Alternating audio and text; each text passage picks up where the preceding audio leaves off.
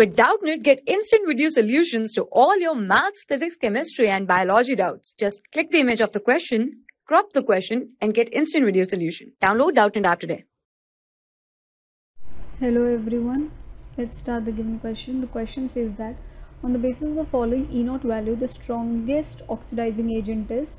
So we have to find out. We have been given two reactions. Their E naught values have been given to us also and we need to find out which one is the strongest oxidizing agent so strongest oxidizing agent is the one which is able to oxidize other species and itself get easily reduced now if you look here we have been given two reactions so this E naught value is the reduction potential which is given to us which is K plus to K and it is given to us how much? Minus 2.9 2 volt right?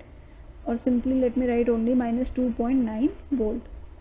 And the E naught reduction potential value of mg2 plus 2 mg it is given to me how much? Minus 2.3 volt.